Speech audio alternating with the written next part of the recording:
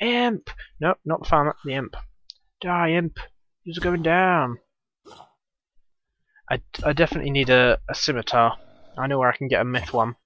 So as soon as I get 20 attack, which will not be too long at all, um, I'll be able to use that, and it will all be good.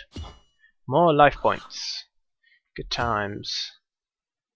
It's one of the most useful skills to have at low level, that is the um, ability to have more health. Oh great, some burnt bread. Wow, it's so so useful. Why don't I just why don't I fill up my inventory with those? Ah, god damn. Which reminds me, I need to keep a burnt fish. I need to get a fish, burn it, and keep it. For the purpose of a quest, you need to grab a burnt fish. I don't know why. I think it's for like some potion or something.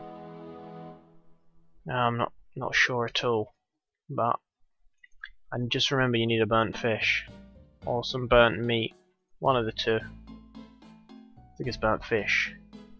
I'll just say burnt fish a few more times, just in case you didn't hear me. It's burnt fish. Hmm. Let's see if I can I put these strange rocks together. Use with this one. Oh, nothing.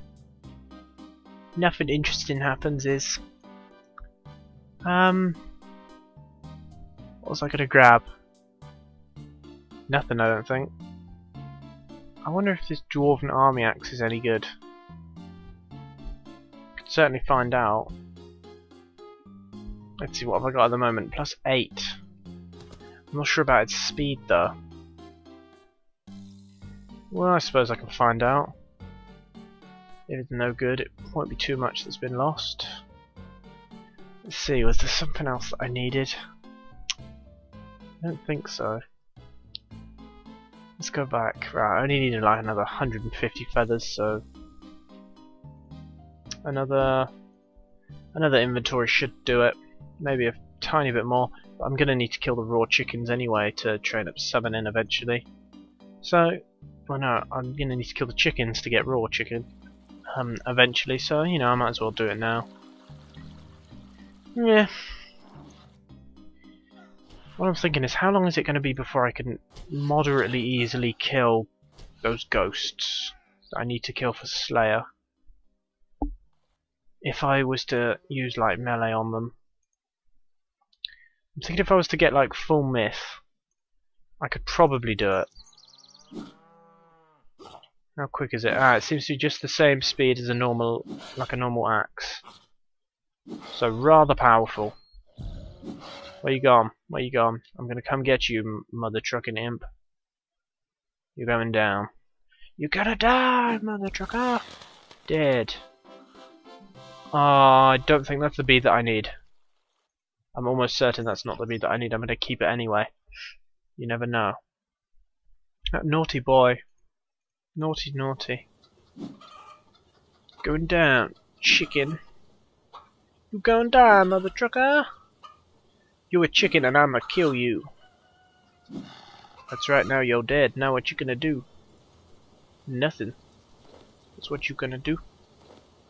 Put my junk there. Right, there we go. Let's kill some serious chickens.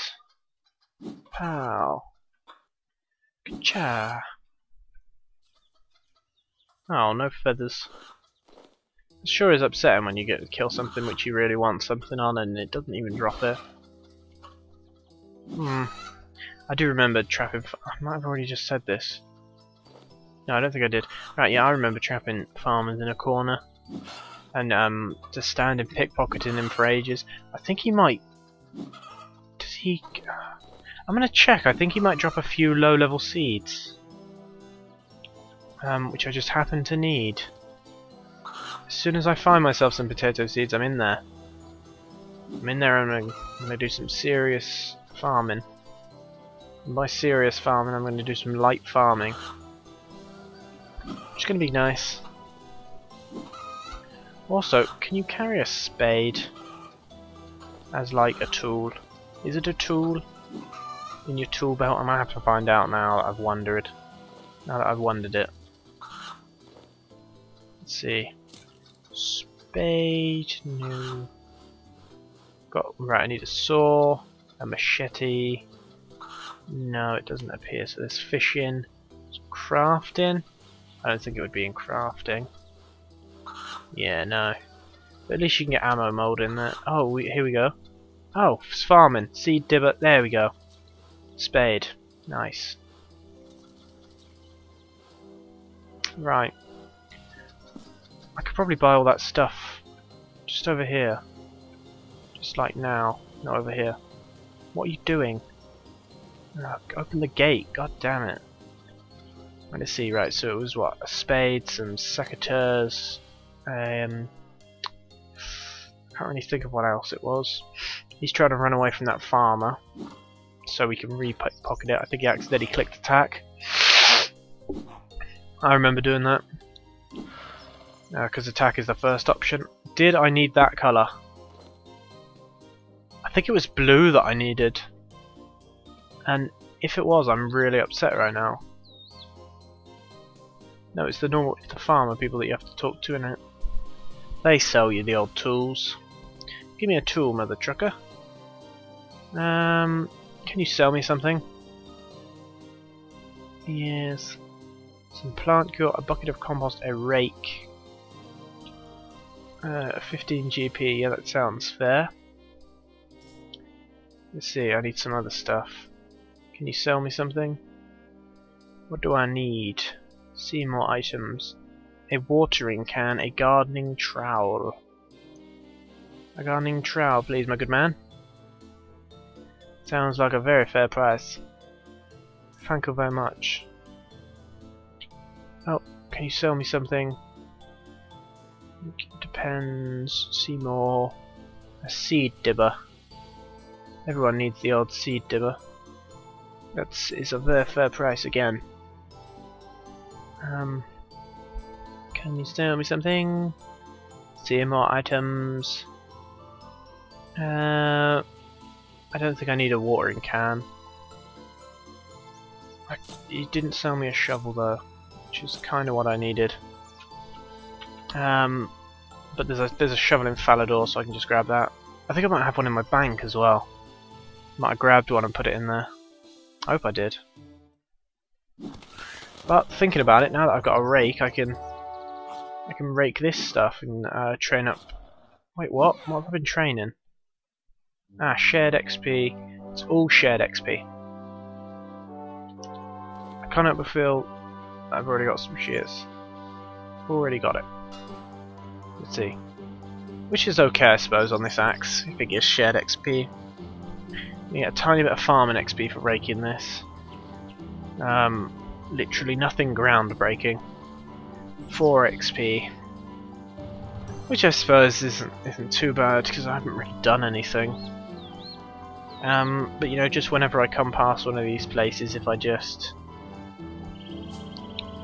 if I just rake it, um, then I should get up a couple of levels before I've even started, and maybe I'll be able to plant onions. I think it's onions at level three, so I'll be good. Some feathers. I could do with some stacks of 15 feathers. That'd be helpful. Boom, level up strength.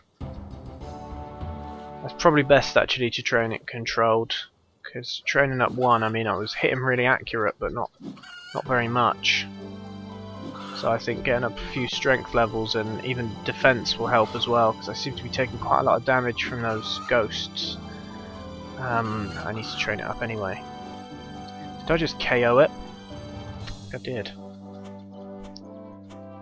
Mm-hmm. That'll be my first KO on a chicken.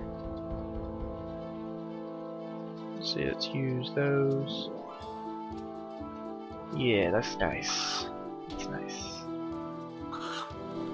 Grab some bones. Let's see if I just stack all the chickens together. Keep killing while I'm doing this. There we go. I can grab my raw chicken and my bones and then kill him. Where am I gonna... I, oh, I really need to make some money. Like, seriously thinking about it. For summoning, summoning is gonna cost hundreds and hundreds of K. Uh, money I just don't have. So I'm really, I'm really quite screwed when it comes to that. Um, at the same time, there's not too much point in training it um, until I have got enough stuff to get to quite high level. Because um, there's no really good there's no really good familiars until level 40, which is the Bullant. And that will come in incredibly useful because it only carries 6 items or something, but it's still useful. Still re really useful, actually. Um, only carries a bit, but you know, it's cool. Grab me some more feathers. Right, it'll be a few more after this and then I have to go mining, make some arrowheads. I'm not even sure if I can make those yet actually. So I'll have to find that out. I can just find out now. Did I leave something? Oh god, don't attack them. Grab the feathers, grab the bones. Buries those bones. Chop that chicken's head off. There's another there's another thing over there. Another imp just taunting me. Wanting me to kill him. Wanting. Pleading, in fact, for me to have that final blue bead which I want so badly. I need it so bad, Mr. Imp. Please. Please give it to me. I will give it. I will give. I will pay you, Mister Imp. If you give me a. If you give me the bead, I will pay you real monies. I will give you all of my monies for it. I will give you. Uh, I won't give you all of it. I need some of that. But I will give you a thousand GP. Damn, he teleported far away. What a pain in the ass. There's another one right there. Damn. Damn out. What? Did he just teleport back? That fucking... Oh my god. I cannot believe it. He just made me run all the way over here and then he teleported straight back. Man, that is a real pain. Where have you teleported to? How far away are you? Where are you? Basically is the real question. So you gotta... You gotta bring some... What the hell are those wings, man? I need to know. Need to know what the wings are. It's important to me. It looks like I already did some damage to him. Maybe this was the one that teleported off a minute ago. Where did he go? Ah, I see you. Do I see the other one though? No, that is the other one. That is the one that I was following. Ah, there they both are. What? Where have they gone? Where have they gone? They both just teleported off. The hell, man? There's one. I think. Nope, it's a person with red legs. Ah. Right, there's one. Oh no, they are still both there. Never mind. Never mind. I'm telling you, I'm gonna, I'm gonna kill them both. I'm gonna, I'm gonna shoot them in the head if they teleport away one more time. Just walk over there. Walk over there. Oh no, he's trapped behind there, isn't he? Crap. They always teleport into places that you can't get to. Sometimes in the Grand Exchange they teleport behind the counter. It's so funny. And I mean, like you can shoot them from a distance, but if I was to shoot one from a distance, right, it would um, it would drop a blue bead. And then, then what am I going to do? I don't have a high enough level to telegrab, so I wouldn't be able to get it, and I'd just have to watch it disappear. Ah, and that would be my luck. use those. Right, yeah, I do only need a few more a few more feathers. And also I just need to check my smithing smithing level. It's only three. Bronze sword arrowhead five. Okay so not really long at all until I can make the arrowheads. Um, so I'm going to make some of them. Ah, there's an imp. Uh, and that will seriously get me up some fletching levels. Um, and I'll really be on the way to being able to make something useful. So it's, it's looking good. It's looking good for now. It's looking, actually it's looking really good. It's looking up. Instead of down or straight in front. Come the hell back. If you're going to keep walking backwards away from me, I'm going to kick you in the nuts. I swear to God, stop walking away. That's right, now give me my blue bead. You son of a bitch. You son of a bitch. Right. Oh, I swear to God. I swear to God I'm gonna kick him in the head. Goddamn imps. I hate you. Oh, every kind of bead apart from the one that I need. That totally rhymed. What a win. Oh, I don't even think they've got any other use, so... I mean, yeah, they're worth a few hundred gold, but what is a few hundred gold when you can't trade? But I don't mind not trading. I, I definitely think that so far going through, it's been much more fun not trading than it would have been if I'd have traded. Uh, like, definitely, without question at all. Because the challenge is definitely there. Like, if I could trade, I could have by now I could easily have just gone, bought myself 10k mind runes, 20k air runes, and um, I could, like, so easily, and I could just have gone, done that ghost task, have an incredibly high magic level, then I could have probably, with the money that I could have made so easily, I probably could have just gone and bought. Ah, he's right there. I probably could have just gone and bought um, Chaos Runes. Um, and you know, I'd be shooting Chaos Runes at people right now. Because uh, money, let's just be honest, it's not exactly hard to make on this game anymore. Uh, it used to be moderately hard. When there was no Grand Exchange, it was it was pretty difficult to make money. Uh, you know, you had to trade everything you know, singularly. You had to find the person. You had to stand there for like hours just selling one thing. And um, if you couldn't sell it, you were pretty much screwed. And we could go over here and just rake these weeds. Um, but now that there's a Grand Exchange, you know, you can merch hundreds of mil without any problem. Um, and then the more money you've got, the more money you can merch. And in fact, without even merching, you can just, especially since the bots have gone now, the money money is so much easier to make. You can fishing kind of became obsolete because you could, you know, you can go fish a thousand shark and it's only like 600k. But now I think they're worth just under 2k, so that would be, you know, 1.8 mil or something, which is an incredibly large amount more. So, um, you know, um, even though doing a 1k sharks takes a while, it's actually worth the effort now to put in. And um, and then if if you cook them, I believe the cook ones, cooked ones are worth slightly more. So you know you can just buy raw ones if you've got a high enough cooking level and just sell cooked ones. I believe that's quite a good way to make money. It's 50 each or something. So, not as much money as fishing them themselves, I wouldn't say, but you know, you can do a K much faster. Um, cooking them than fishing them. So, you know, not maybe not quite as good money, um, but still, still good, and it's a, a little bit harder as well because there's more clicking involved. And whenever there's more clicking involved, that's just annoying. The least amount of clicking is the best kind of skill. Not like agility. Millions of clicks, very little XP, very hard to train, very boring.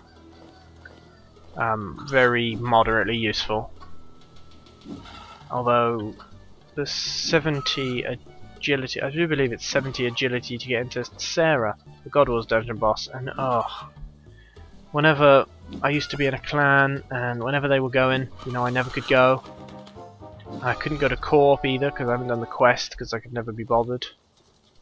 So as you can imagine, I was missing out on most of the most of the clan um, events, and you know that that's no good if you want to gain favour with the clan.